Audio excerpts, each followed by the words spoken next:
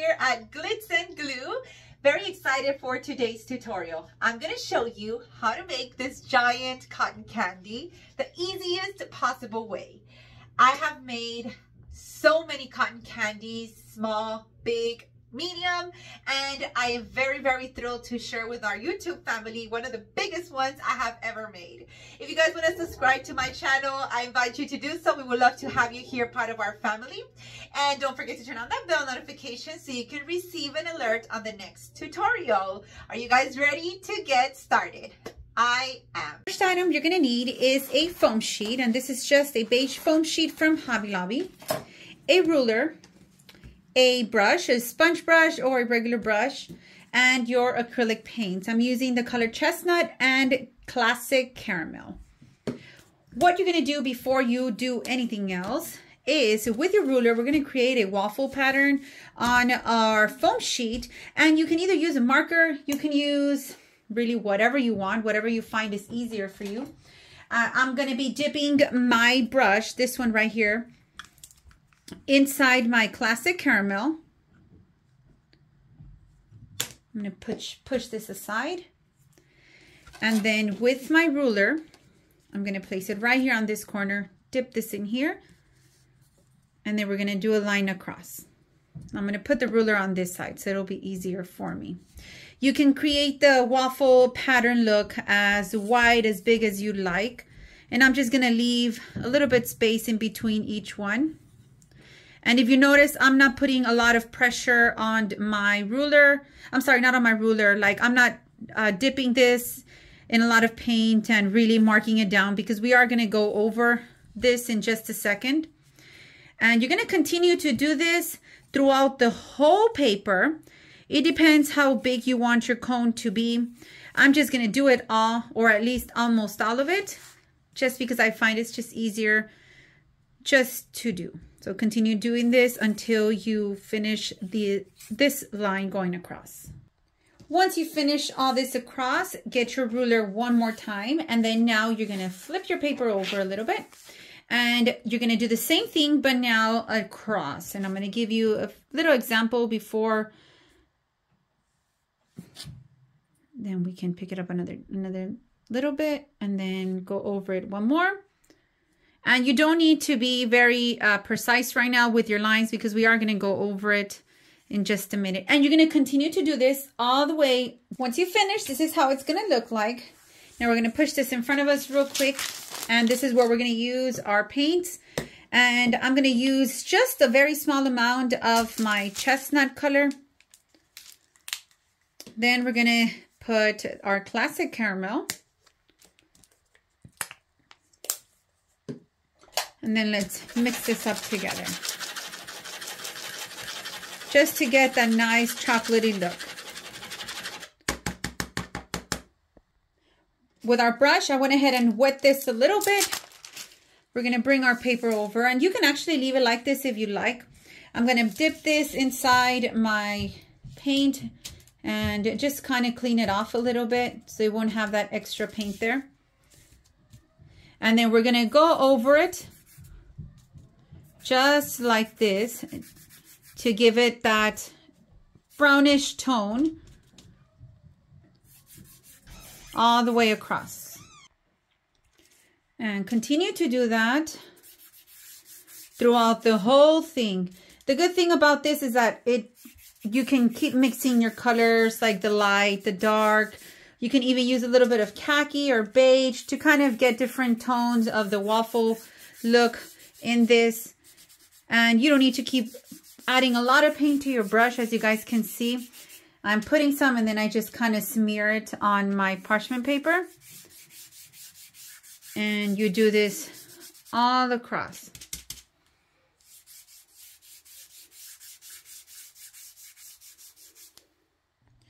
Once you have this all done, we're going to use our styrofoam cone. This is a uh, let me see, a 8.9 inch styrofoam cone. And I did get this from Hobby Lobby.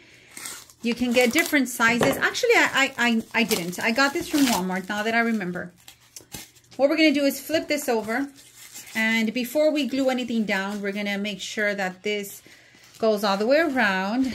and it does. Let me get this side because the other side is still not dry. N neither is this side. Okay, so once we have that down, we have our kind of measurements to do it all the way around. I'm going to add a little bit of my low temp glue gun right here on this side. Very, very small amount. And then we're going to bring this across like this.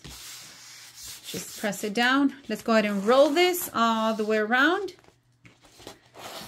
And then with my pinky shears, and these are kind of some pretty cool, actually not those. Uh, these are pretty cool zigzag scissors uh, that you can get from Walmart or online. I'll link some for you guys in the description of this tutorial. Let's go ahead and start right here at the bottom. And we're going to cut across all the way.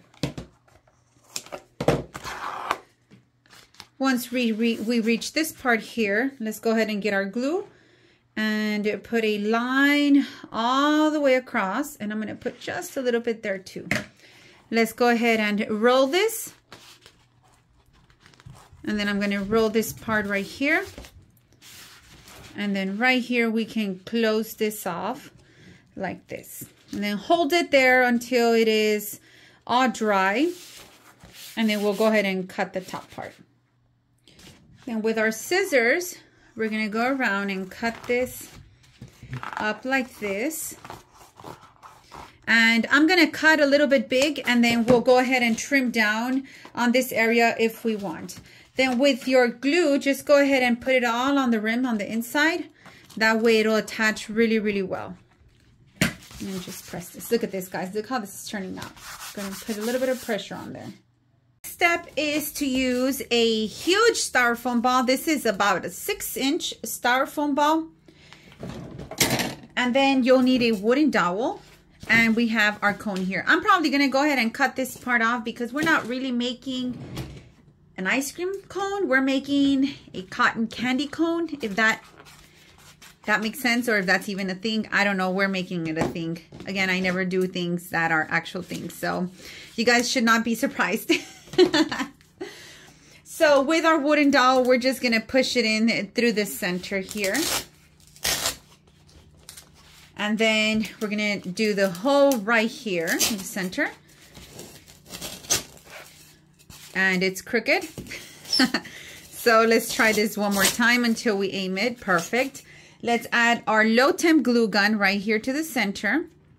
And then we're just going to push this down and then just let it dry for a little bit. Something maybe I should have done is cut that part flat just a little bit so it can lay flat on there and we won't risk it falling apart. But it'll it'll dry just fine. Let me push this aside and continue to the next part. Now, you guys know Hobby Lobby uh, had these for spring, and they probably still have some, and they're on sale. So go and snatch as many as you can. However, if you cannot get a hold of these, I have other options for you. You can use the roving yarn. You can find it at Hobby Lobby, Walmart, Amazon. I'll link a few of these for you guys in the description of the tutorial. And on the description of the YouTube tutorial. I feel like I'm talking to my private group here. And then I, I'll, you can choose whichever one you like. So they have three colors. I'm going to go with my pink. So I have a bag already opened. I'm not going to be opening this one here.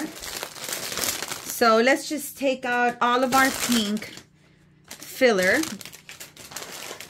And I think with this should be enough. I have a, a, a few other bags. I always buy them every year. A whole bunch of them because I know I use them year round and I use them during Christmas off off season. So I always tell you guys whenever you uh you know you guys like my style or what I teach I always encourage you guys to get these when they're on sale at Hobby Lobby because I use them all the time so once we separate our yarn just like this we're going to use our low temp glue gun and two reasons. One, the high temp will melt my, melt my styrofoam and I'm getting my fingers pretty close to this. So I want to make sure to use my low temp glue gun. So you guys can see I kind of scattered it around a little bit here. And then I always like to work, what's that saying called? Work smarter, not harder. So Sometimes that works, sometimes it doesn't. Let's put a whole bunch of our glue. This is the case where we're gonna see if this works. If not, then trial and error, right? That's what we're here for, to make things easier for you. I'm gonna flip this over and then I'm just gonna push my fake cotton candy on my ball. Then let's put more of our glue.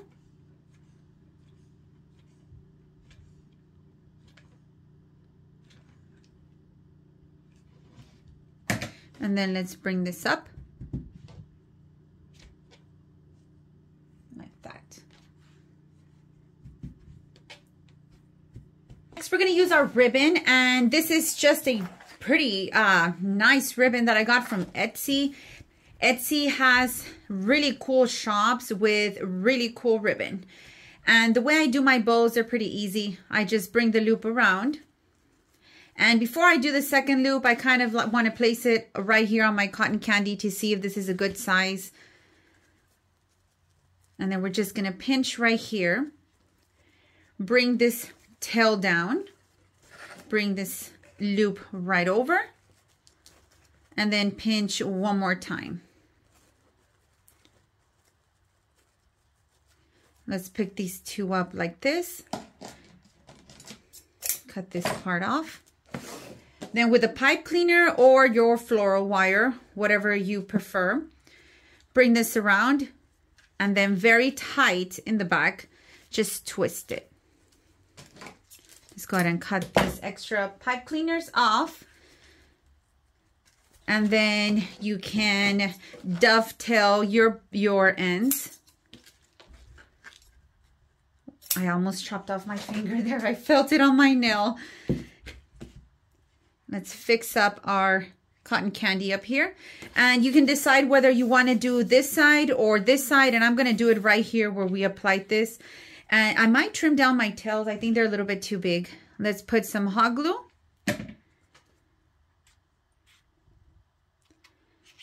And then put a little bit of pressure right here.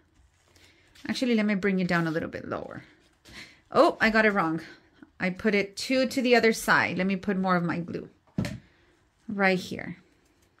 Let's pick this up. Let's bring our cotton candy down. We have this other little flap here. Let's glue it down. You can apply uh, some uh, adhesive, some spray adhesive to help with the loose parts of your cotton candy. Let's bring this a little bit smaller. Just trim it down just a little bit. And here is our giant ice cream cotton candy. Hope you guys enjoyed this super easy tutorial and give it a try. I always encourage you guys to just try these crafts out, fake bakes, I what we call them. Pretty, some of them are easier than others, and I think this is one that is extremely easy. If you guys want to join our community at Glittz and Glue, we have a free group for you guys to join over on Facebook. It is called Craft Along with Glittz and Glue. You can show off all of your amazing creations, or if you want to show me something that you created here that I that I showed you how to make, you can share it with us over there.